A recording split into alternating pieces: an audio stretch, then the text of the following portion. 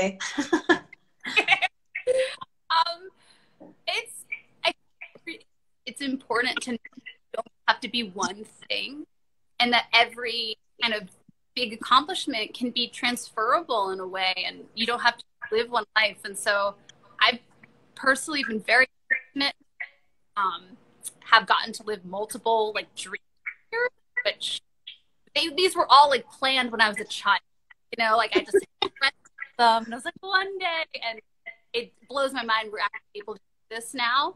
Um, but sort of like circling back to like what we were before, um, I think that like being in one space and representing something on the screen uh, leads you to other spaces and wanting to not only be uh, a part of the product, but to be the creator of the product. Um, that was inspiration for, for me.